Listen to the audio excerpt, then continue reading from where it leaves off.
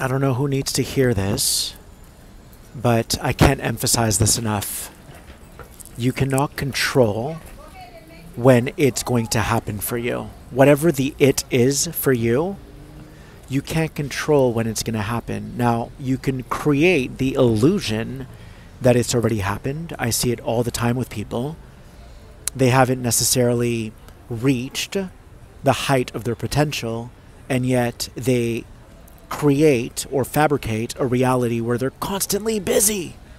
But that's not, that doesn't mean that it's actually happened. It means that they're still myopic in their view, in their viewpoint.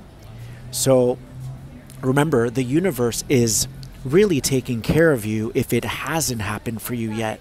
So don't be in a hurry. Don't be too pressed for change. All right? You might think you want something right now, but what you're tapping into is a feeling that corresponds to a future reality that isn't supposed to happen right now. So let me give you an example of this. Let's imagine that Oprah was too eager to get it going when she was young. Then she might have made something happen, but she wouldn't have become Oprah. So you have to follow the universal timing of this. There is a process, and there's an intelligence backing that process, you see? So don't be in a hurry to make things happen. Instead, feel what's coming up for you. Because when you feel what's coming up for you, you're transforming yourself from the inside out.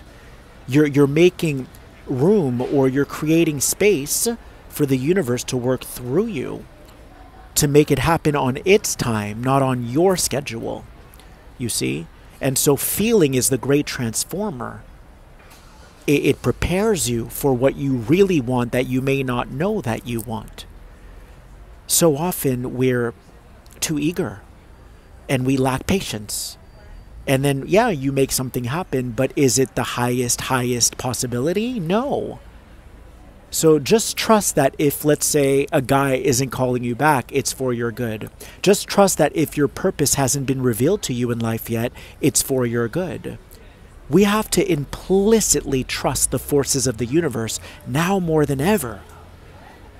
And if you're too eager and you're too impatient, you're not going to make it to the top of that mountain. You're not. Whatever that mountain is for you, your highest potential. So just keep that in mind, my friends. The universe is looking out for you in ways that you can't even possibly fathom. So just be patient with the process. If there seems to be blockages in your way right now, boulders in your way right now, consider it a gift from the universe. It's simply looking out for you.